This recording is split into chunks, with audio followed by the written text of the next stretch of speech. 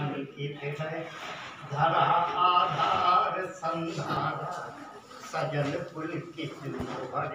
है बड़ा सद्भाग्य हम सबका जो दर्शन दिव्य पाया है भगीरथ सम ये बड़ भागी जो गंगा धार लाया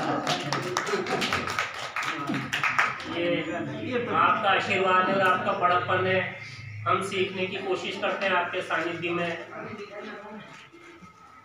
और ये बहुत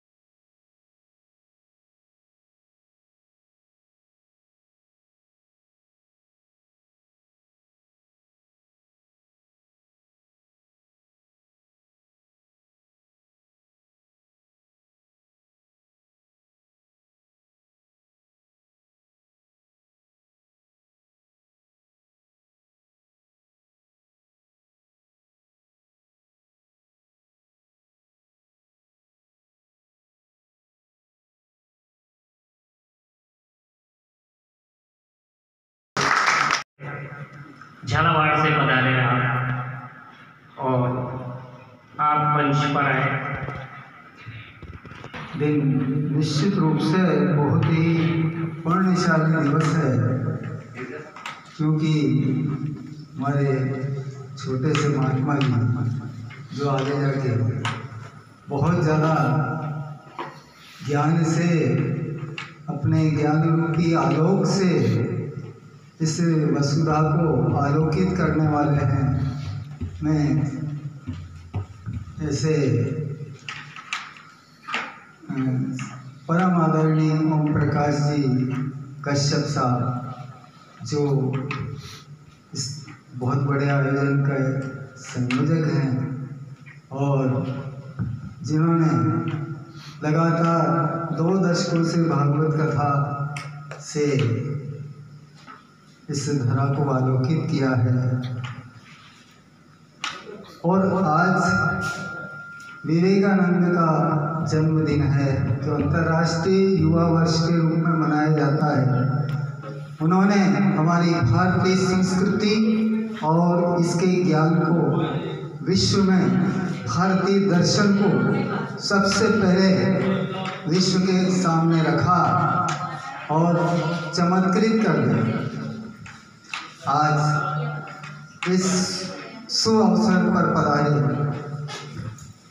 कोटा से पधारी आज की माननीय मुख्य अतिथि कविता एवं सभी साहित्यकार, बंधु, कलाकार, संगीतकार, मातृशक्तियाँ सभी का स्वागत करता हूँ, सभी को बधाई देता हूँ इस और हमारे ये छोटे से महात्मा वेदांत जी, वेद विभूषण की उपाधि से अलंकृत हो चुके हैं। ये इनके आयुष्मान होने की और इनकी विख्यात होने की कामना करता हूँ। और ये कार्यक्रम में मैं सबसे पहले महाराणा प्रताप के ऊपर एक खंड काव्य लिख रहा हूँ। उसकी थोड़ी सी झलक आपको दिखाता हूँ। वो क्यों आवश्यक है? वास्तव में महाराणा प्रताप को अकबर का युद्ध, कोई जातियों का युद्ध नहीं था। वो मातृभूमि के लिए युद्ध था।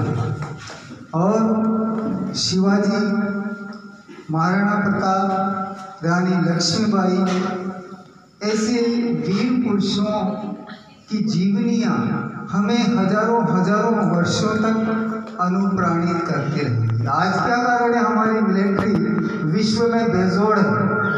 इन सब के में इन्हीं महापुरुषों की प्रेरणा आज भी घर कर रही है और इनके जीवनियों को जो है पाठ्यक्रमों में पढ़ाए जाते रहना चाहिए। मुट्ठी भर वीरों को लेकर चट्टानों से टकराया था। मुट्ठी भर वीरों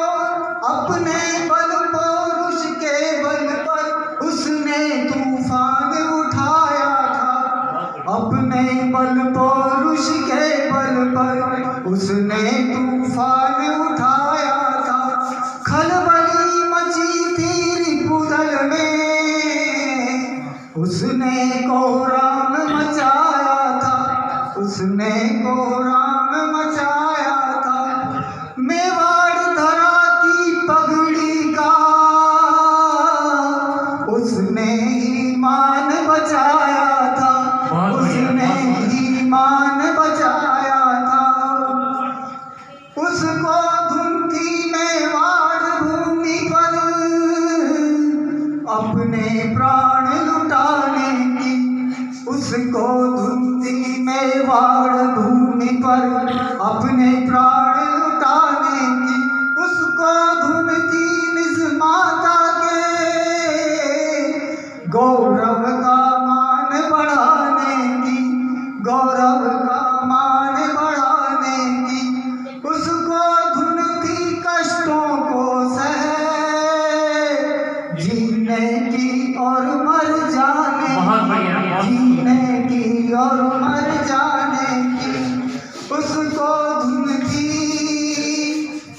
पौरुष से अद्भुत इतिहास रचाने की, अद्भुत इतिहास रचाने की।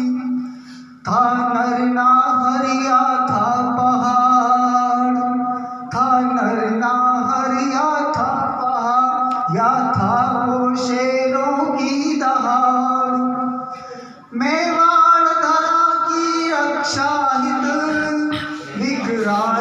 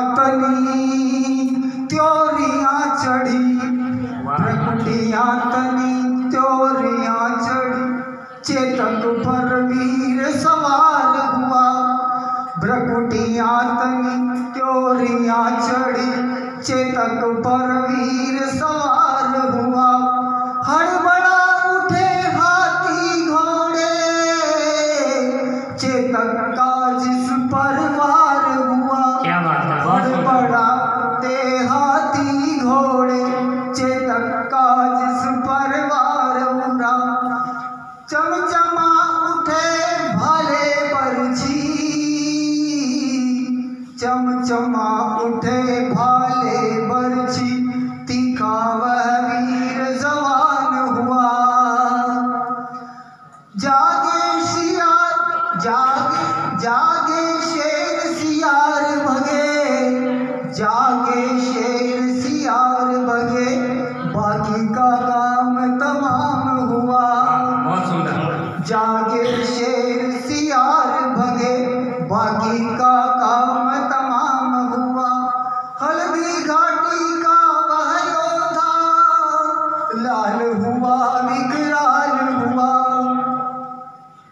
अंगारे में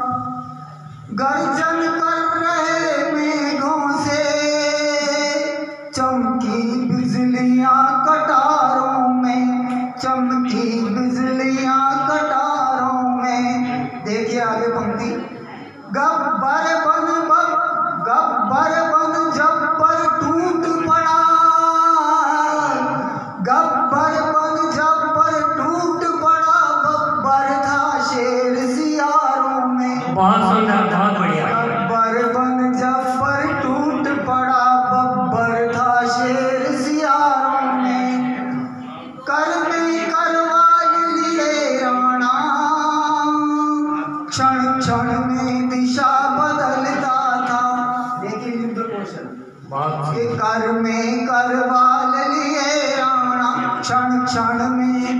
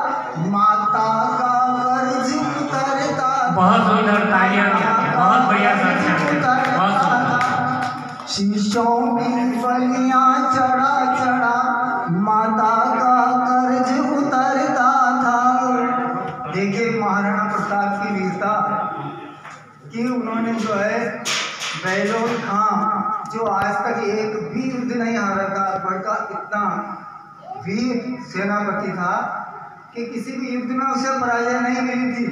लेकिन जब महाराणा प्रताप को अकबर ने कहा था कि महाराणा प्रताप को बाँध के लाना बहलोल खां। लेकिन महाराणा प्रताप ने एक ही बार से बहलोल खां समेत उसके घोड़े को काटा क्या बात और इसके बाद मुगल सेना भग गई। भगने लगी। उस रोज उन्होंने एक एक छोटे से तीन चार घंटे के युद्ध में जो है, सात सेनापति अकबर के मार डाले। और मान सिंह भी अगर होदे में नहीं छुपता तो वो भी मारा जाता उनको तो लगा था कि मर गया होगा, लेकिन वो होदे के अंदर छुप गए